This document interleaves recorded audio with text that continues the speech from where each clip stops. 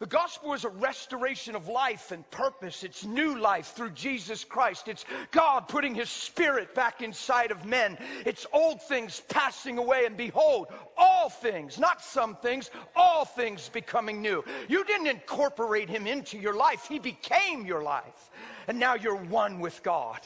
Are you understanding what I'm saying? So, so see, now, now offense doesn't fit. Unforgiveness doesn't fit. It doesn't fit because it doesn't live in him. It doesn't live in us. We can't just bring him into our life. He has to overtake it. It's Christ in me, the hope of glory.